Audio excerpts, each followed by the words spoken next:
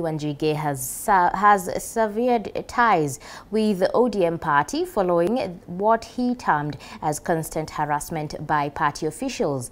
Drama ensued today when Wanjigi tried to access ODM NDC meeting but was however barred. Addressing journalists, the presidential aspirant accused the ODM boss Raila Odinga and the party's Secretary General Edwin Sifuna for his woes.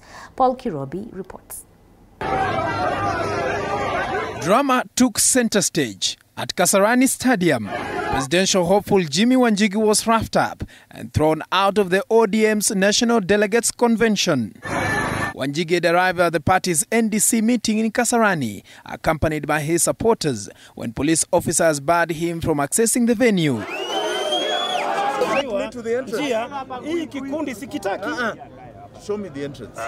Wacha maneno ya kikundi. Hiki Where is the kikundi entrance? kinakufuata. I'm not going to talk to them. Where is the entrance? Where is the entrance? I'll show you that. Bus, take me. I'll show you Mheshimiwa. No, know, you're going to go with my car. No. It's, look, there's no entrance here. Where is the entrance? Shortly after the incident, Wanjigi addressed the members of the press, accusing ODM Secretary General Edwin Sifuna and his boss Raila Odinga for his woes. Is that my relationship with him, at least in the political space, is seemingly over. I, from today, have been shown the door by ODM. I have been kicked, and I say asante sana, asante ya punda ni mateke. In the not too distant future, this coming week, I'll be announcing my direction in my quest for the presidency.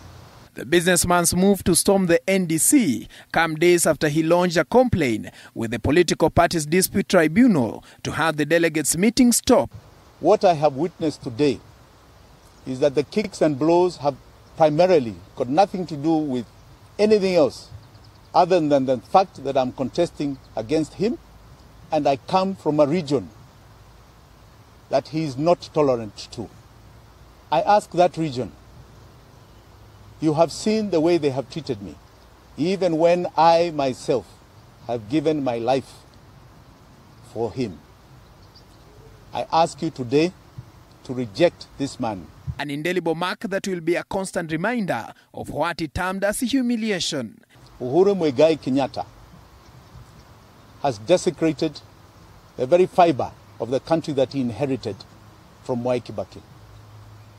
He wants to continue in power through Raila Amolo Odinga. He wants somehow to seek a third term. This is not about Raila, it is about Uhuru Muigai Kenyatta. Uhuru Muigai Kenyatta, the constitution is very clear. You have a term, and that term is spelled, spelled out in the constitution. According to the tribunal, Wanjigi, alongside other petitioners, did not exhaust the party's internal dispute resolution mechanisms before approaching it on claims that the meeting was illegally organized. Paul Kirobi, TV 47, Nairobi.